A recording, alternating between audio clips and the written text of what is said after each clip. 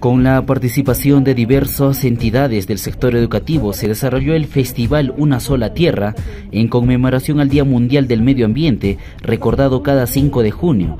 En medio de esta festiva se llevó a cabo el concurso de trajes de material reciclable, en el cual participaron alrededor de 30 canes con creativas vestimentas confeccionadas con botellas, bolsas, telas, chapillas y demás.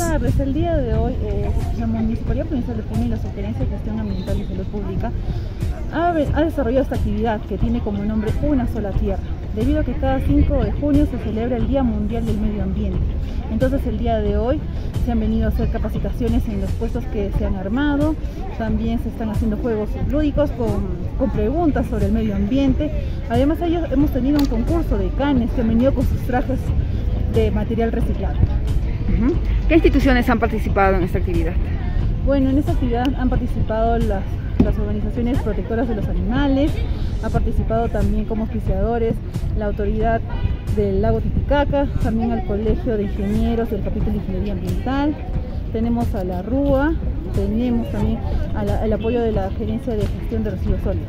Por otro lado, también se efectuaron capacitaciones y juegos lúdicos referentes a la preservación del medio ambiente, en los cuales participaron alrededor de 100 personas, quienes se llevaron consigo plantas ornamentales de variedad de especies.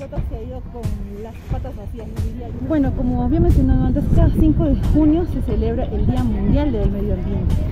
Este día se, se viene celebrando desde el año 1973 con la finalidad de que se cree una concientización a la población. ¿Para qué? Para que cuide la tierra, que es el lugar donde vive. Tanto sus recursos naturales como el agua o la fauna y flora que nosotros tenemos, ¿no? Tenemos que cuidar, preservar, eh, hacer actos buenos cada día, como reciclar, eh, cuidar nuestras aguas también.